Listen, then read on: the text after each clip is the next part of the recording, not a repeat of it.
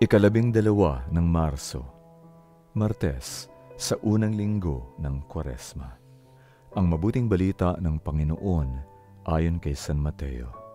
Sinabi ni Jesus sa kanyang mga alagad, Pag mananalangin kayo, huwag kayong magsalita ng magsalita gaya ng ginagawa ng mga pagano.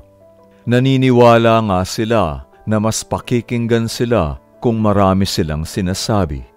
Huwag kayong tumulad sa kanila. Alam ng inyong ama ang mga pangangailangan ninyo bago pa man kayo humingi. Kaya ganito kayo manalangin. Ama naming nasa langit, sambahin ang ngalan mo. Dumating ang kaharian mo. Sundin ang loob mo dito sa lupa para ng sa langit. Bigyan mo kami ngayon ng aming kakanin sa araw-araw.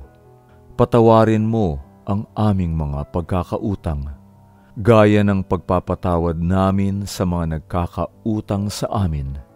Huwag mo kaming dalhin sa tukso at iligtas mo kami sa masama. Kung patatawarin ninyo ang mga nagkasala sa inyo, patatawarin din kayo ng inyong amang nasa langit at kung hindi ninyo patatawarin ang mga nagkasala sa inyo, hindi rin kayo patatawarin ng inyong Ama. Ang mabuting balita ng Panginoon. Pagsasadiwa, alam ng inyong Ama ang mga pangangailangan ninyo bago pa man kayo humingi. Hindi sinasabi ni Jesus na ibibigay ng Ama ang lahat ng hinihingi natin sa panalangin kasi kahit alam nga ng Ama ang mga pangangailangan natin, alam din ba natin ang pangangailangan, hindi lang ang gusto natin? Mga bagay na dapat sa atin dahil mabuti sa atin? Ito ang dahilan kung bakit kailangan pa tayong turuan ng Panginoon kung paano manalangin o kung ano ang dapat na hilingin natin sa Diyos.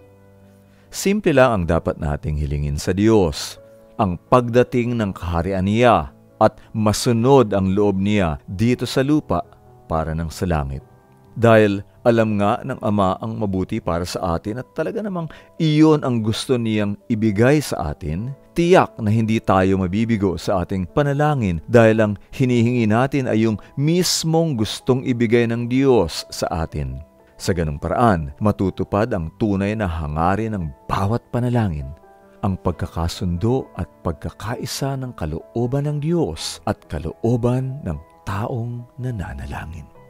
Pagsasagawa, sa gitna ng matinding tensyon sa hardin ng Getsemani, nanalangin si Jesus. Ama, kung gusto mo, alisin mo sa akin ang kalis na ito.